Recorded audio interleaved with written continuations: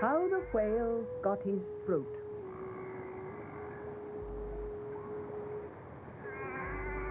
In the sea, once upon a time, oh my best beloved, there was a whale, and he ate fishes. He ate the starfish, and the garfish, and the crab, and the dab, and the plaice, and the dace, and the skate and his mate, and the mackerel, and the pickerel, and the really, truly twirly-whirly eel. All the fishes he could find in all the sea he ate with his mouth, so, till at last there was only one small fish left in all the sea, and he was a small, stute fish, and he swam a little behind the whale's right ear so as to be out of harm's way.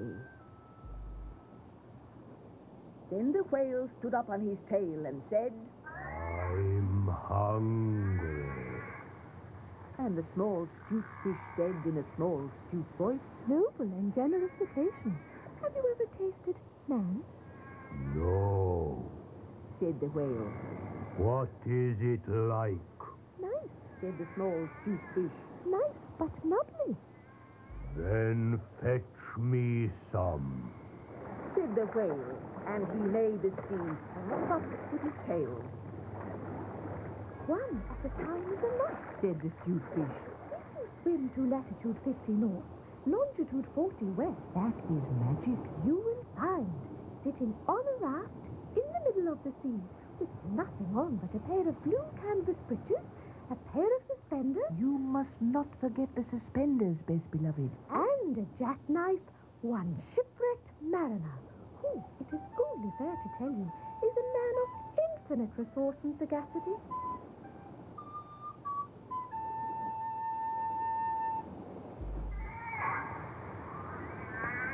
So the whale swam and swam to latitude 50 north, longitude 40 west, as fast as he could swim. And on a raft, in the middle of the sea, with nothing to wear except a pair of blue canvas breeches, a pair of suspenders, you must particularly remember the suspenders, best beloved, and a jackknife. He found one single solitary shipwrecked mariner, Heaven's been my ruin, I'll go. trailing his toes in the water. His mummy's leave to paddle, or else he would never have done it, because he was a man of infinite resource and sagacity. I'll go no more a roving with you, fair maid. Then the whale opened his mouth back and back and back till it nearly touched his tail.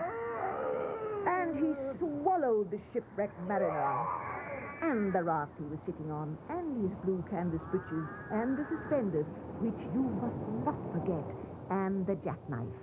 He swallowed them all down into his warm, dark inside cupboards, and then he smacked his lips, so, and turned round three times on his tail.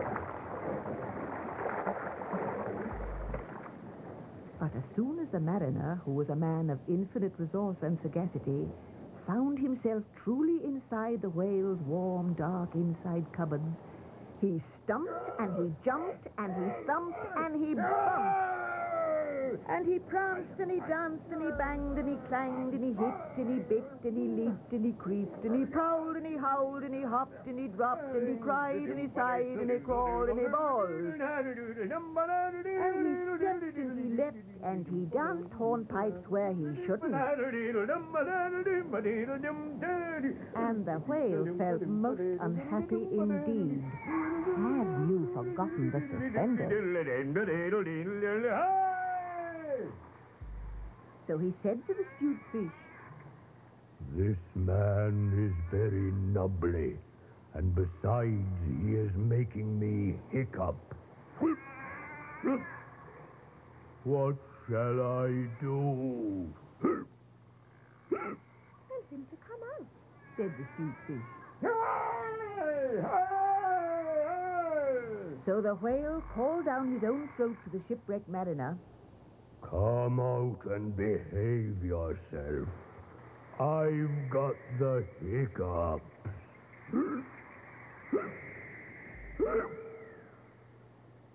Nay, nay. said the mariner. Not so, but far otherwise. Take me to my natal shore on the white cliffs of Albion, and I'll think about it. And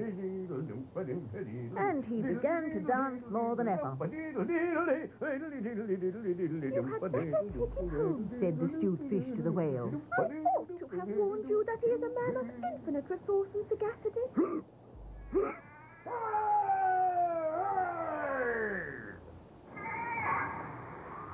So the whale swam and swam and swam with both flippers and his tail as hard as he could for the hiccup. And at last he saw the mariner's natal shore and the white cliffs of Albion. And he rushed halfway up the beach and opened his mouth wide and wide and wide and said, Change here for Winchester, Ashuelot, Nashua, Keene, and stations on the Fitchburg Road. And just as he said, Fitch, the mariner walked out of his mouth. Here we are. But while the whale had been swimming, the mariner, who was indeed a person of infinite resource and sagacity, had taken his jackknife and cut up the raft into a little square grating all running crisscross, and he had tied it firm with his suspenders. Now you know why you are not to forget the suspenders. And he dragged that grating good and tight into the whale's throat, and there it stuck. Then he recited the following sloka, which, as you haven't heard it, I will now proceed to relate. By means of a grating, I have stopped your eating. By means of a grating,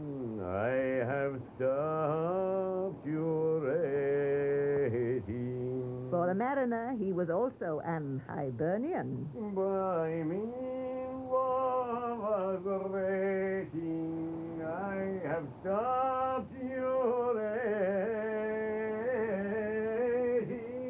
And he stepped out on the shingle, I mean of a grating, I have stopped your.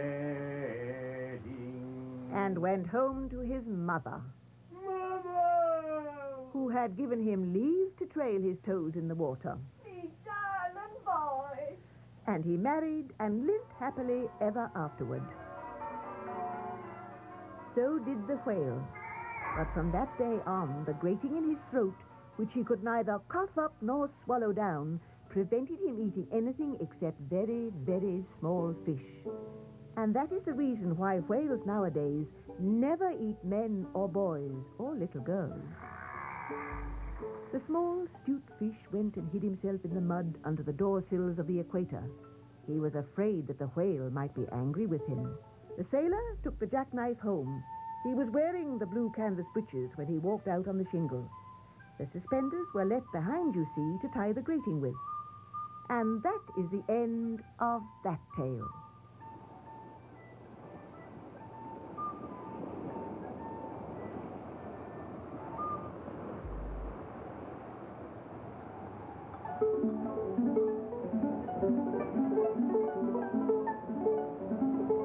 When the cabin portholes are dark and green because of the seas outside.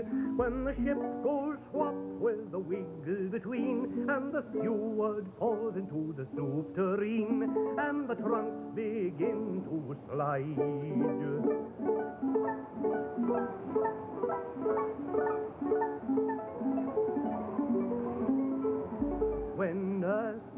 On the floor in a heap, and Mummy tells you to let her sleep, and you aren't waked or washed or dressed, why then you will know if you haven't guessed. You're fifty north and forty west.